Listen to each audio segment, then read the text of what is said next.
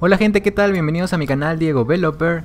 En esta oportunidad voy a hablarles un poco de lo que pienso hacer en este canal. Bueno, básicamente va a ser las cosas que me gustan. Eh, por ahora escribir un poco de Flutter, Dart, pero de repente más adelante puedo implementar otro tipo de cosas, hablar un poco de tecnología, pero en esta ocasión eh, voy a hablarles sobre específicamente cómo crear este Shiny Button que me gustó.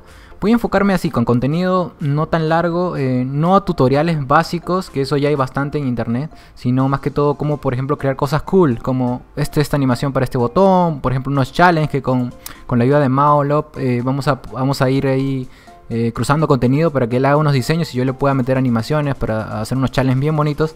y miren esta animación ahora que tengo aquí, este es un shiny button y bueno, así le he puesto el nombre, que es un botón brillante, en el cual hay un brillo en, el que anima eh, el botón cuando la presentas en pantalla, eh, la cual puede dar una, buena, una buena imagen a, la aplicación, ¿no? Depende que, en qué lo quieras usar, pero me parece interesante el poder hacer esto y poder enseñarles cómo hacerlo, ¿no?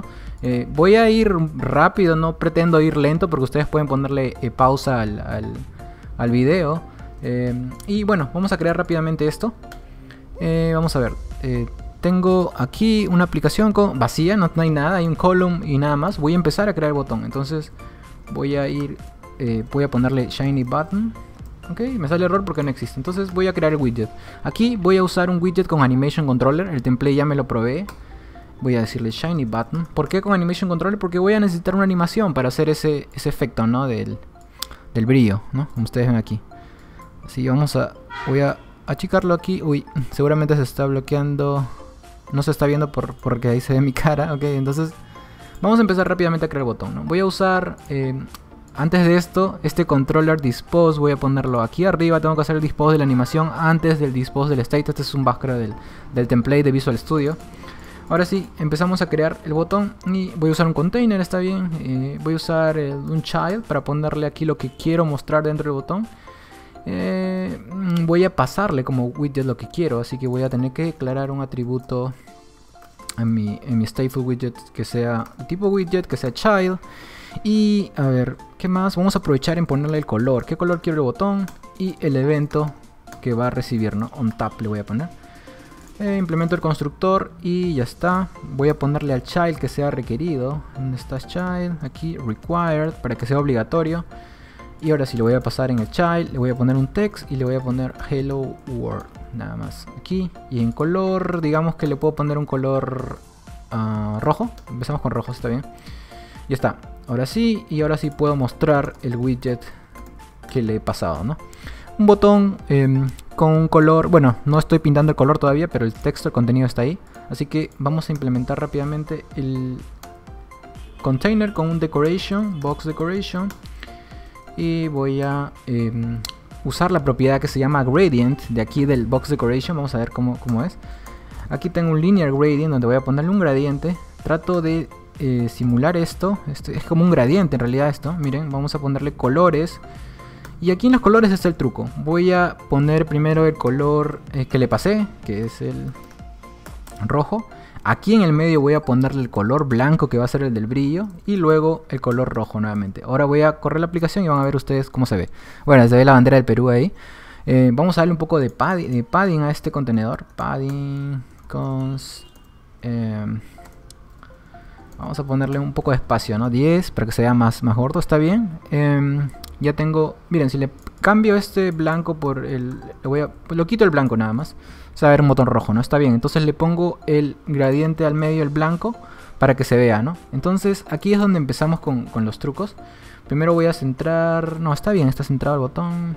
Es que no estoy en un column. Aquí le puedo decir que se expanda. Que, se, que sea stretch. Ya está. Solo tengo que centrar el contenido ahora. Eh, el container tiene un alignment. Center. Ya está. Ahora voy a ponerle el color del texto en negro para que se pueda apreciar mejor. Text style, color, colors, black.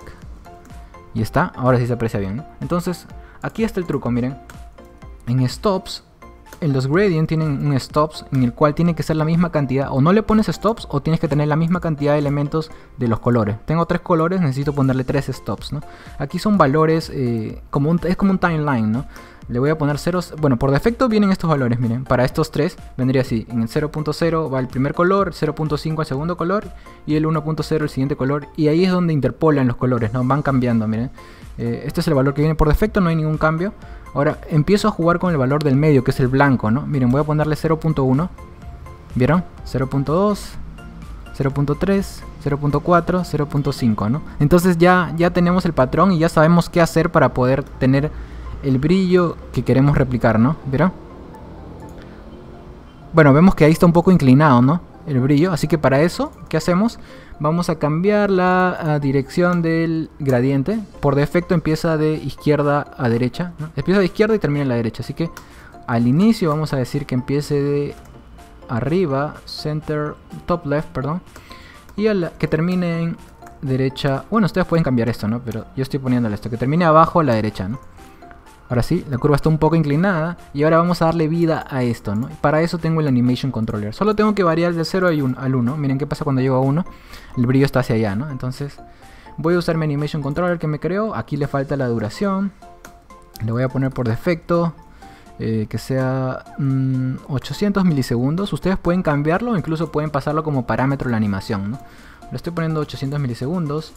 ¿Y qué más? Por defecto el Animation Controller tiene dos valores, el valor inicial y el final, y viene con 0 y 1, ¿no? O sea, va a ir del 0 al 1, la animación en 800 milisegundos, Voy a decirle que la animación haga un repeat, controller repeat, para que se repita, ¿no? Para que sea un, bucle infinito mientras esté ahí el botón mostrándose. Y simplemente ahora voy a hacer uso del animate, Animation Controller o Animated Controller, déjenme ver. Animate Animated, perdón, Animated Builder. Ajá.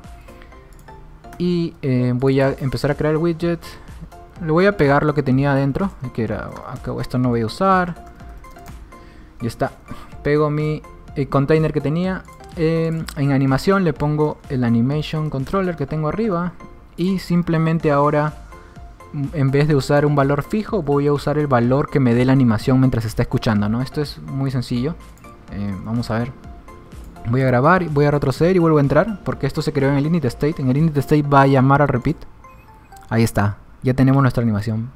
Pero se ve un poco raro, ¿no? Ven que acaba y vuelve al inicio, ¿no? Voy a aumentar la duración a 1000 a 2000, 2 segundos para que vean cómo se ve un poco raro, ¿no? Vamos a ver. Sí, acaba y regresa inmediatamente al inicio, ¿no? Como que eso no se aprecia, no se ve bien, ¿no? Así que lo que nos gustaría es que ni bien acabe, regrese y haga lo mismo, ¿no? Así que Vamos a hacer un pequeño cambio ahí. Vamos a... Voy a dejarlo en 1500. No. 900. Ok. Y, voy a hacer que... Para esto voy a necesitar escuchar el estado de la animación. Add status listener. Y voy a decirle que cuando el estado sea igual a animation status creo que es. Cuando sea igual a completed. Status completed significa que acabó la primera animación Ahí voy a decirle que haga una reversa, ¿no? Que retroceda. Y voy a hacer otro if diciéndole que, cuando la reversa termine, es animation dismissed, entonces voy a decirle que empiece de nuevo. Desde, desde el inicio, ¿no? Forward y from zero. Y en vez de repeat aquí voy a usar simplemente un forward nada más para que empiece la animación. Después cuando termine va a ir a la reversa y después va a seguir un bucle ahí, ¿no? Entonces Creo que hasta ahí estamos bien. Vamos a ver, voy a correr y ahí está. Ven cómo va hacia derecha, izquierda, ¿no? Ya tenemos el efecto que queríamos al inicio. ya tenemos nuestro Shiny Button. Simplemente ya es cuestión de que modifiquemos algunas propiedades, como por ejemplo lo más importante que es el, em, el evento, ¿no? Porque es un botón, así que bueno, voy a usar Inkwell en este caso. On tap y le paso simplemente el on tap del widget, ¿no? aquí para saber, para obtener el, cuando tocamos el botón, que es lo que nos importa. On tap, voy a agregarle un log para poder ver que funciona. On tap. Y estamos, ahora vamos a ver el log. Voy a darle tap y ya está, ¿no? Estoy tocando el botón y le estoy dando tap, ¿no? Está funcionando el evento. Bueno, ¿qué les pareció este botón, este video en general sobre este tipo de cosas, hacer ese tipo de animaciones, de, de challenge que se viene, no sé? Em, por ejemplo, vamos a, replicar este botón ahora rápidamente para que vean que funciona, ¿no? Simplemente le voy a poner eh, otro texto, quizás hola mundo y otro color, ¿no? grabo y ya tenemos el botón, ¿no? Ya tenemos nuestro Shiny Button. Espero que este video les haya gustado. Hemos culminado con esto, miren, lo hemos hecho similar, simplemente que aquí me parece que la duración está un poco más lenta. Si quieren más videos así, cosas así, animaciones, eh, cosas vistosas en Flutter, cosas no tan sencillas, no pretendo hacer tutoriales básicos aquí sobre cosas que pueden encontrar rápidamente en internet. Así que si desean más cosas así, simplemente suscríbanse, eh, denle like, comenten para ver si les gustó o si no. Eh, porque pienso hacer unos challenges bien, bien bonitos con, con, mi amigo Mauricio. bueno, sin más que decir, nos vemos en el siguiente video, si es que hay.